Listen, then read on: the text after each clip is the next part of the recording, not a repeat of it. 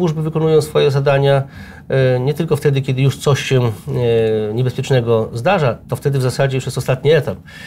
Ich zadaniem jest e, rozpoznanie i wykrycie tego typu potencjalnych zagrożeń wcześniejszych. I takie zdarzenia, ale powtarzam, nie groźne, to nie były jakieś planowane zamachy terrorystyczne, ale jakieś takie sytuacje, które mogły się skończyć mniejszym czy większym incydentem, wystąpiły. Przy czym o tym nie będziemy rozmawiali, to są sprawy związane z właściwością działania służb i także służb specjalnych.